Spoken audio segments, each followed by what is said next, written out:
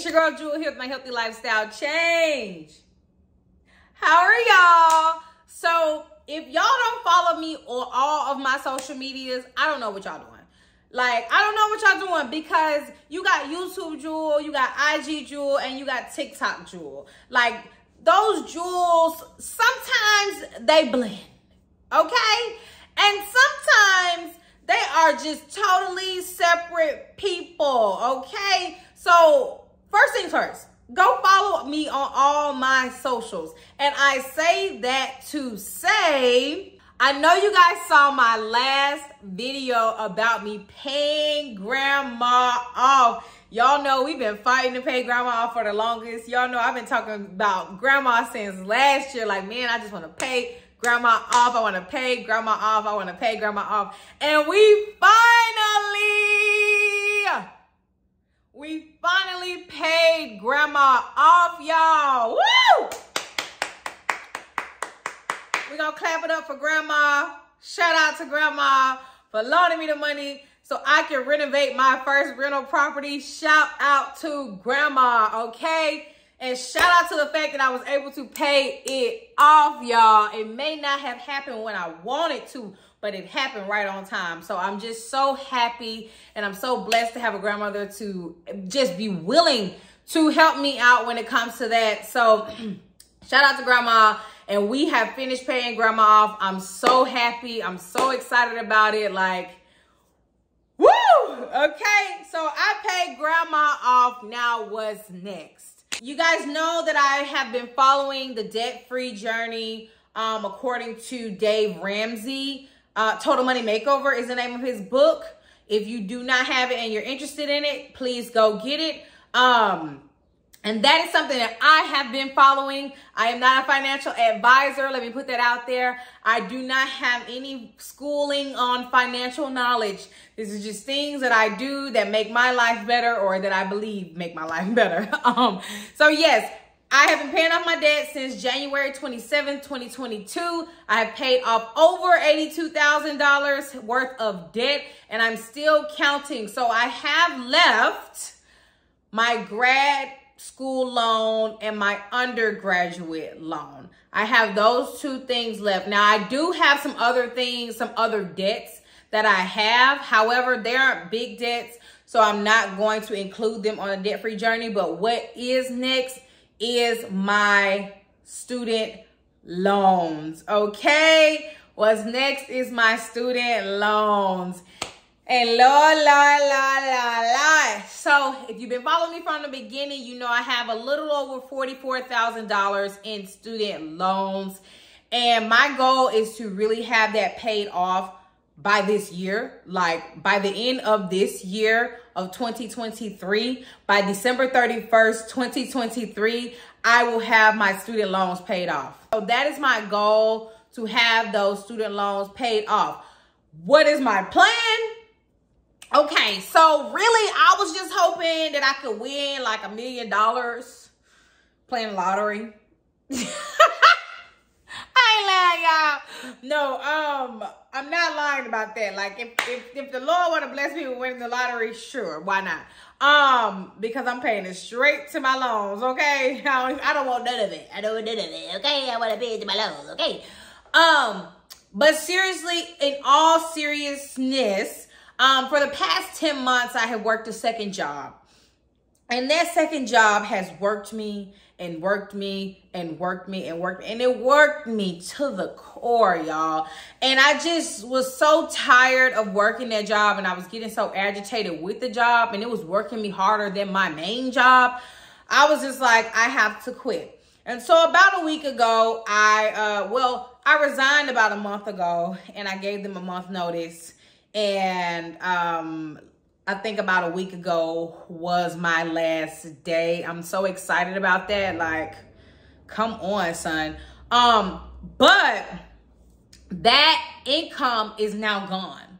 It's finito. It's no more. So I'm back down to one income. So I really have been working on coming up with strategies to get out of this debt, not just using one income because when have you ever known me to only have one stream of income? Like, get real. I, I, and I kept telling myself, Jewel, you can't go out and get another job. Like, because my mindset is hustle, hustle, hustle, hustle, hustle. But I have to really flip that mindset and find me some passive income that's going to actually make me some money. So my goals are to literally find what is going to be my passive income. The first thing that I know for sure that I want to monetize is all of my social media accounts. So I'm working on monetizing my Amazon account right now. And I'm working on the other socials that I have as well. If you're not following me on Amazon, what are you doing? My Amazon store, go check my Amazon store out because it is popping, okay? It is fly for real. Um, and I do have some cool things on there if you guys are interested. So that's one strategy that that's one angle that I'm working and you know sometimes that can be a hit or a miss and you really got to double down and focus on that so that is one thing that I am focusing on the second thing of course is my DJing I needed to start paying me money like okay all these free gigs they cute but no, I really got to start focusing on my DJing so that I can start getting paid gigs. So I've already started monetizing that. I have a paid gig coming up. I'm super excited about it. Um, but that's, I don't think that that's going to be the big money just yet. Like that's going to take time to build and that's okay. So I don't even want that to be considered an income just yet because I'm getting my feet wet with DJing. Um, so really social media is something that is going to be a big, I feel like a big, big major thing when it comes to some passive And it's not technically passive because I put in the work, but it doesn't feel like work to me because obviously I enjoy rambling. I enjoy doing this right here.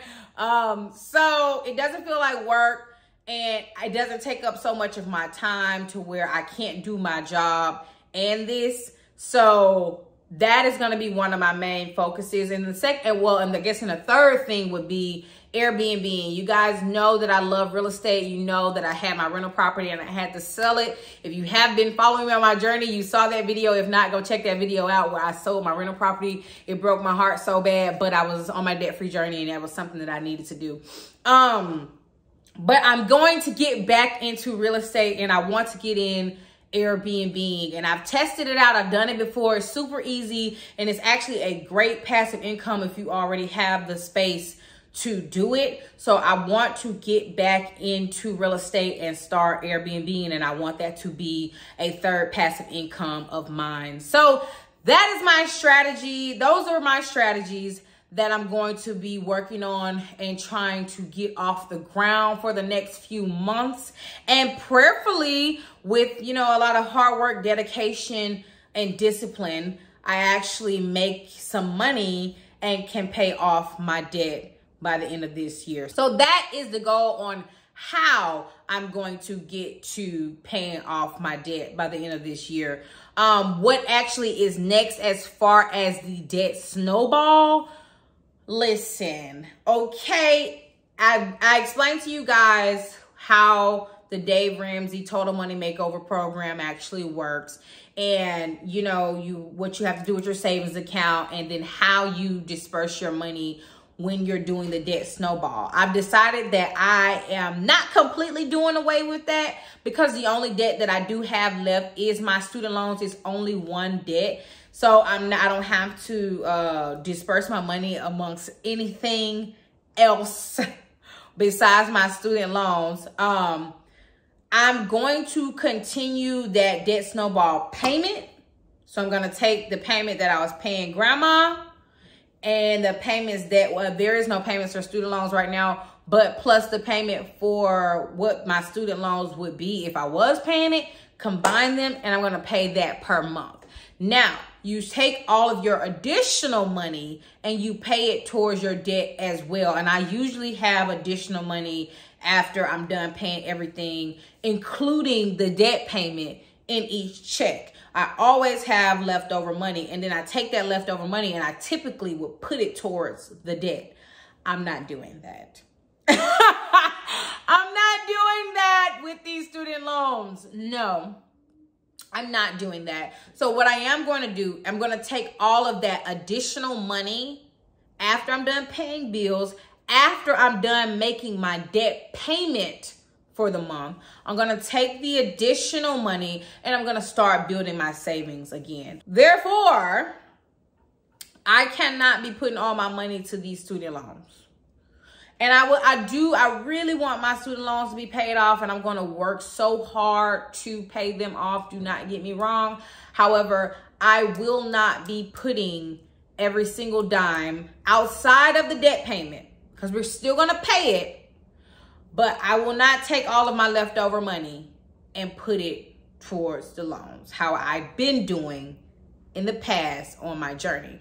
I'm going to take that money and I'm going to divvy it up for my emergency fund, travel fund, and I may go in and open back up my um, investment fund. So that's it. That's what I'm going to do. I'm going to pay off my student loans by December 31st, 2023. Mark my words. I said it today. I'm going to do that by using, of course, my main income plus three passive incomes, one of which is not really a, a, passive income just yet. However, you never know what might happen. But three passive incomes being DJing, content creation, and Airbnb. Airbnb. I'm pretty sure that's a word. But we're going to just say real estate because you never know. I might go and get a rental property or something. I don't know, but that's a slow process, so I might not. Um, so using those three strategies that I know, that is what I'm gonna do. I may find some other passive incomes along the way, who knows? Um, but using passive income is how I'm going to pay my debt off by the end of this year. Plus, of course, my income. And the goal is to use the debt snowball method, continue with the old payment to grandma plus the new payment to the student loans, combine that and pay that per month, and then take all of my extra money that I was paying to the debt and actually save it and put it in my emergency fund, travel fund, and investment fund. So that is my goal, guys. Um, we're gonna see how it works. We're gonna see you know, I'm going to do a check-in with myself in about maybe three months just to see if the strategy is actually working. Maybe I need to go back to the debt snowball method and continue on doing it how he said do it instead of trying to build up an emergency fund, travel fund, and um, investment fund. But the thing is, I'm going to travel this year and I don't want to go back into debt to try to travel. So if I have the extra funds, just put it away into my travel fund so there's no surprises when it's time to travel because your girl getting out the country this year. Okay?